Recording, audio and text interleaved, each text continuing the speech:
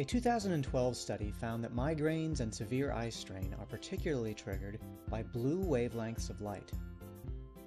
This finding helped explain earlier studies that found tinted glasses and contact lenses effective for preventing and alleviating migraines.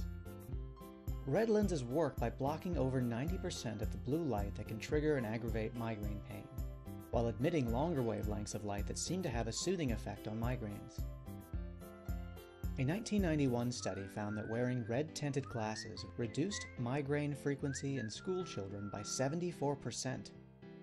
The four month long study concluded that children who habitually wore red glasses sustained improvement throughout the four month trial when the average headache frequency had improved from 6.2 per month to 1.6 per month.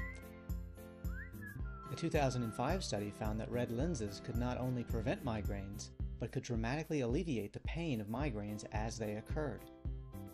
The study found that red tinted contact lenses provided rapid, safe, non pharmacologic relief to most patients with acute migraine pain.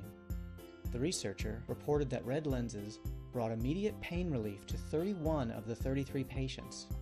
In fact, all but five of these patients had total pain relief.